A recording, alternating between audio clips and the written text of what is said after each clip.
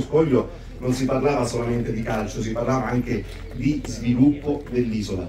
Ecco, eh, Scoglio allora era lì, vabbè, parlavamo anche di pallone, allora lui riteneva Poli, che allora giocava nel Bologna, ricorderete quello scontro con Schillaci, meglio di Donadoni, questo per farvi capire un attimo il personaggio, però gli dicevamo professore ma lei per quest'isola, noi eravamo ventenni, per quest'isola cosa vede?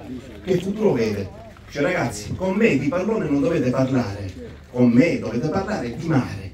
Voi in quest'isola dovete parlare di sviluppo delle manifestazioni sportive legate al mare.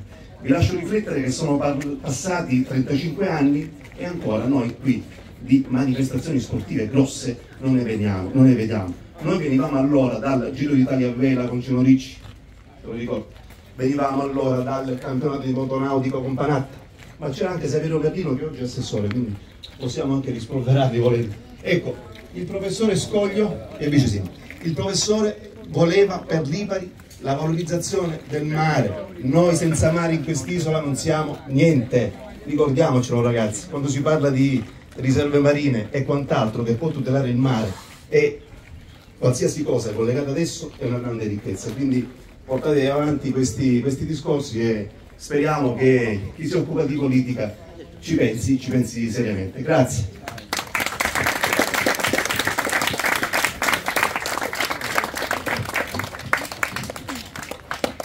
Buona domenica, buona partita. Grazie.